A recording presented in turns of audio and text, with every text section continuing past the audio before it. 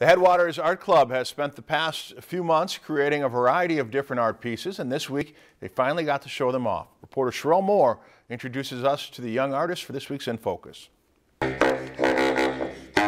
Headwaters Music and Arts in Bemidji has made it their mission to not only help adults in creative fields, but to also give tools to the next generation. Our art club was established thanks to some funding from the Roundup program through Beltrami Electric last spring. The Headwaters Art Club is open to anyone between the ages of 9 and 13.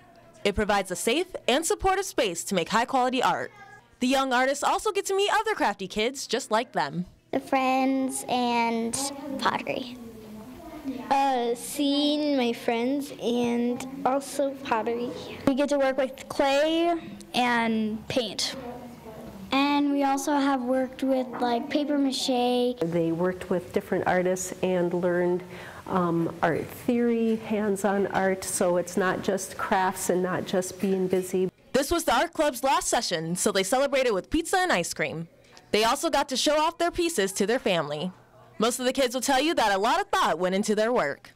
We were doing watercolor and then doing the ink over it, which I think was kind of cool. In My little um, paper bag tree, and I made a tiny puffball kitty in it the hider. I'm pretty sure it was that because you can like hide in bushes and it'll look like, well, you're just part of the bush. From a parent's perspective, some say that as a whole, Headwaters has given their kid a nice place to reach their artistic potential. Headwaters gives you, I guess, that center point, you know, that, that place that you can go to express yourself, to learn, to grow, and, and uh, exchange thoughts and ideas and philosophy with, with people. And, and a lot of these young artists will tell you they're just grateful to have the opportunity to learn from some of the best. They are super nice and they help you through it if you have questions, and I really like Headwaters. Reporting in Bemidji with this week's In Focus, Sherelle Moore, Lakeland News.